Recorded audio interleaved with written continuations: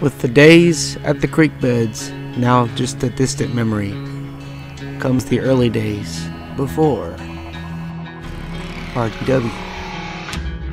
What started as a bunch of matches that were just for the fun of it became the seed that was planted to start the wrestling.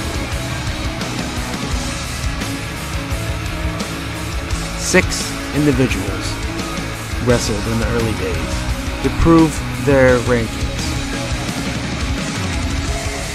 Up to the point where we crowned our first RDW World Champion. So sit back and relax as we begin our journey